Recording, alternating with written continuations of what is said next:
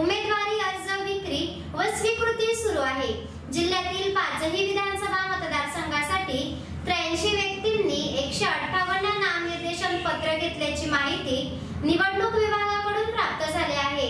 या धुळे ग्रामीणसाठी चौदा व्यक्तींनी बावीस अर्ज भुलेश्वर विधानसभेसाठी एकोणतीस व्यक्तींनी एकावन्न साक्री विधानसभेसाठी सोळा व्यक्तींनी चौतीस हजार शिंदखेडा मतदारसंघासाठी व्यक्तींनी सदोतीस अर्ज.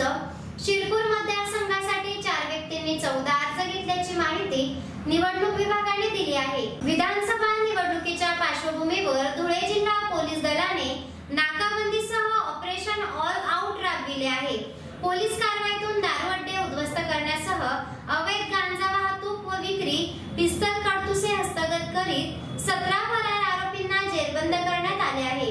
केंद्रीय सुरक्षा पोलीस दलाच्या दोन तुकड्या देखील संवेदनशील परिसरात तैनात करण्यात आल्या आहेत. आगामी विधानसभा निवडणुकीच्या पार्श्वभूमीवर धुळे जिल्हा पोलीस दल विशेष सतर्क झाले आहे. जिल्हा पोलीस दलाने शहरातील विविध भागात नाकाबंदी करण्यासह अचानकपणे ऑपरेशन ऑल आउट राबविले. यातून पिस्तल मॅगझिन कोयता गुप्ती सारखे घातक हत्यारे हस्तगत करण्यात आले आहे. अवैधपणे सुरू असलेल्या देशी विदेशी गावठी दारू अटे उद्ध्वस्त करण्यात आले आहेत. अवैध गांजा वाहतूक व विक्री प्रकरणी कारवाई करीत संबंधितांना जेरबंद केले आहे. त्याचप्रमाणे विविध गुन्ह्यातील सतरा फरार आरोपींना जेरबंद करण्यात आले आहे. पोलीस दल थेट ऍक्शन मोडवर असून कुठेही अनुचित प्रकार घडल्याचे कळल्यास कठोर कारवाईची भूमिका घेण्यात येत आहे. गुन्हेगारी प्रवृत्तीवर पोलीस दलाने करडी नजर ठेवली आहे. जिल्हाभरात संवेदनशील परिसरात केंद्रीय सुरक्षा दलाच्या दोन तुकड्या तैनात करण्यात आल्या आहेत. पोलीस अधीक्षक श्रीकांत हिवरे यांच्या नेतृत्वात विविध पोलीस स्टेशनचे निरीक्षक व त्यांच्या पथकांनी सर्वत्र धडक कारवाई केली आहे. विधानसभा निवडणुकीच्या अनुषंगाने आपण धुळे जिल्ह्यामध्ये काल एक ऑपरेशन ऑल आऊट असं राबवलं होतं. आणि त्यामध्ये आपण फार मोठ्या प्रमाणात कारवाई केलेली आहे.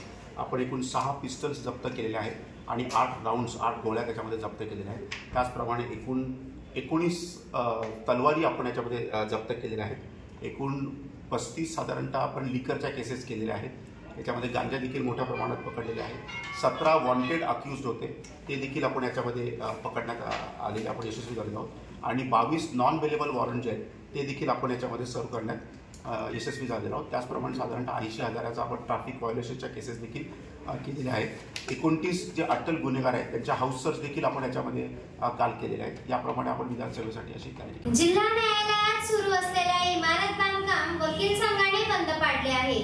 संबंधित इमारतीत वकिलांसाठी पुरेशी जागा नियोजित नसल्याने काम बंद आंदोलन करीत वकील संघाने तीव्र भूमिका घेतली आहे. धुळे जिल्हा न्यायालयात नूतन इमारत उभारणीच्या कामाने वेग घेतला आहे. मात्र या इमारत बांधकामात धुळे जिल्हाभरातील वकिलांसाठी अपेक्षित असलेली योग्य जागा उपलब्ध करून देण्यात आलेली नाही. परिणामी भविष्यात स्थानिक संबंधित वकिलांनी मोठी गैरसोय होणार आहे. वकील संघाने मागणी करूनही जागेसंबंधी दुर्लक्ष होत असल्याने अखेर संतप्त वकील संघाने काम बंद आंदोलन पुकारले आहे. बुधवारी काळ्या फिती वकील संघाने जिल्हा न्यायालयात काम बंद आंदोलन केले. दरम्यान वकील संघाने आक्रमक भूमिका घेत इमारतीचे सुरू असलेले बांधकाम देखील बंद पाडले आहे. या दरम्यान संबंधित कॉन्ट्रॅक्टरवर व वकील संघाच्या पदाधिकाऱ्यांमध्ये शाब्दिक वादही निर्माण झाला. मात्र स्थानिक पोलिसांनी धाव घेत परिस्थितीवर नियंत्रण मिळविले. संबंधित इमारत बांधकाम करताना वकिलांसाठी पुरेशी जागा नियोजित करीत उपलब्ध करून द्यावी अशी मागणी तीव्रतेने करण्यात येत आहे. बार असोसिएशनचा अध्यक्ष ॲडव्होकेट राहुल पाटील. तरी धुळे न्यायालयाच्या नवीन इमारती पक्षकार लोकांना व वकिलांना बसायला पुरेशी जागा नाही. ही जागा मिळवण्यासाठी मागच्या सहा महिन्यापासून आम्ही सतत प्रयत्न करत आहोत. पण प्रशासनाने आम्हाला कोणताच प्रतिसाद दिला नाही.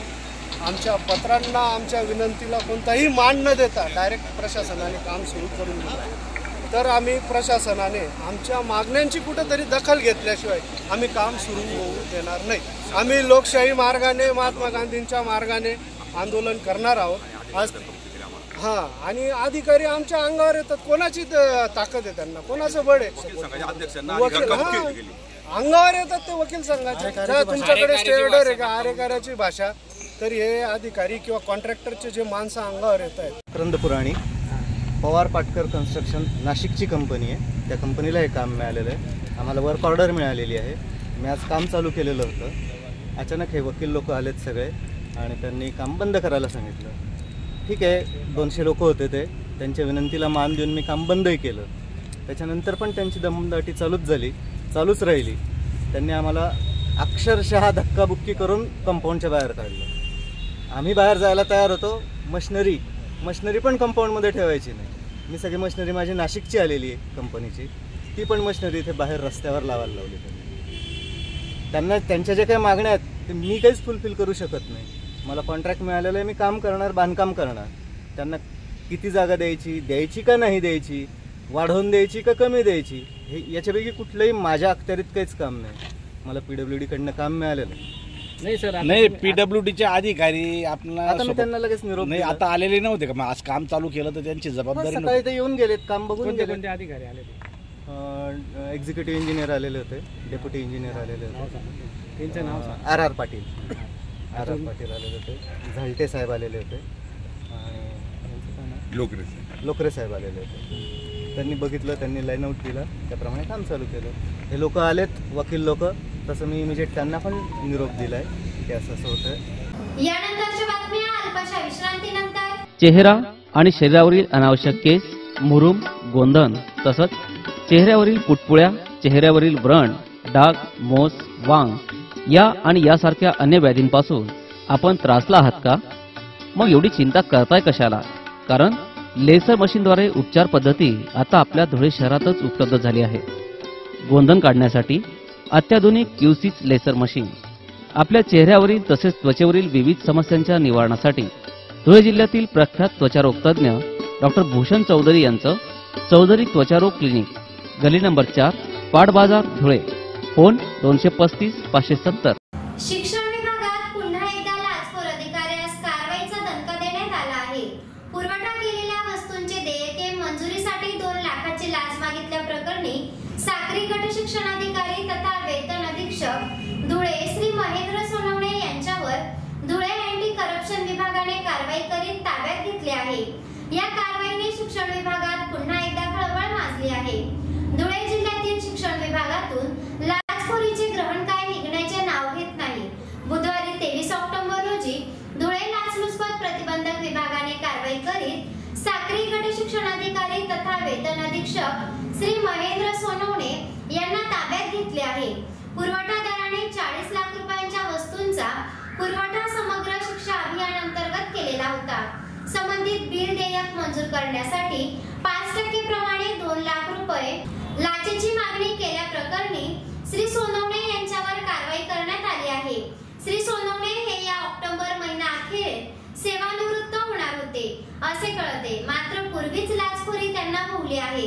धुळे लाचलुचपत प्रतिबंधक विभागाचे उपाधीक्षक सचिन साळुंके यांच्या पथकाने ही कारवाई केली आहे. धुळे शहरातील संतोषी माता मंदिर येथे सालाबादाप्रमाणे वार्षिक उत्सव साजरा करण्यात येत आहे. या निमित्ताने तीन दिवसीय धार्मिक कार्यक्रमाचे आयोजन करण्यात आले असून भाविकांची मंदिरात मांदी आली आहे. धुळे शहरात असलेले सुप्र श्री संतोषी माता मंदिर हे अनेक भाविकांचे श्रद्धास्थान आहे. या मंदिराचा वार्षिक उत्सव निमित्ताने श्री संतोषी माता ट्रस्टच्या वतीने दरवर्षी सालाप्रमाणे विविध धार्मिक कार्यक्रमांचे आयोजन करण्यात येत असते.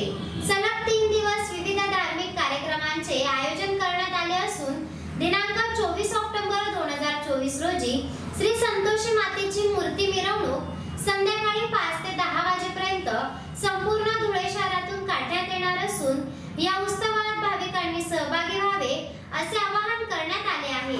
तसेच दिनांक पंचवीस ऑक्टोबर सलग तिसऱ्या दिवशी दिनांक सव्वीस ऑक्टोबर दोन हजार चोवीस रोजी दुपारी साडेबारा वाजता भंडारा महाप्रसादाचे देखील वाटप होणार असून याचा लाभ धुळेकर जनतेने घ्यावा असे आवाहन श्री संतोषी माता ट्रस्टच्या वतीने करण्यात आले आहे.